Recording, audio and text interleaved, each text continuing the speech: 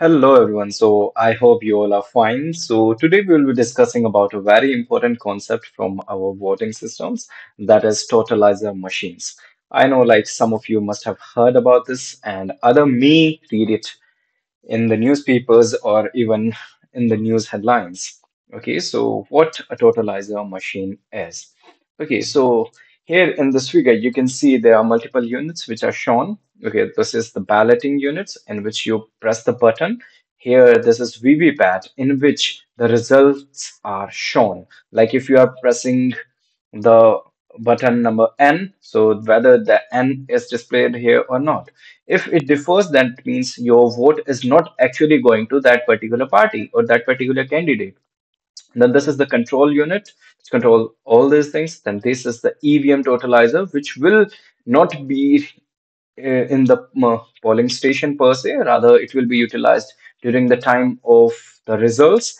And this uh, and here there will be one more unit which is known as VSDU or VVPAT status display unit. So all these can be actually seen in the next figure. So here this is VVPAT and this is our balloting unit. So this is our balloting unit and this unit here is the control unit and this is VSDU, which is VVPAT status display unit. So both of these remains with the presiding officer, and these two means the balloting unit as well as the VVPAT. These remains with the polling compartment. Means you can see all both of these.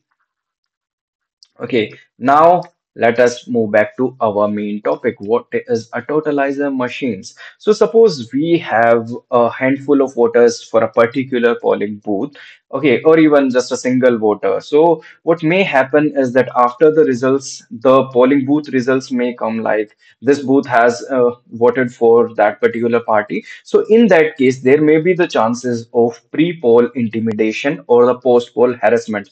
So just to get rid of that, so the Election Commission of India came with this novel idea to maintain the secrecy and security of the voters that all the votes from 14 poll booths will be mixed and will be anonymized so that we won't be able to find out a voting pattern and that's how the security of the voters will be checked.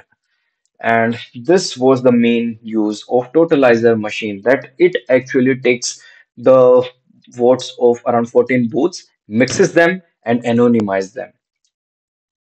And it was made by the Bharat Electronics Limited in collaboration with the Election Commission of India and the government is having certain apprehension that it may cause the poll data outflows or the leakage of poll data Okay, and it is proposed by Election Commission of India. And as I told you, that it was actually proposed first in the 2008 by Election Commission, and later it was also proposed by the Law Commission of India. And even the political parties, means the opposition political parties, are claiming that we should have this for a level playing field. And even the Association for Democratic Reforms and others, uh, NGOs, are also voting in favor of this.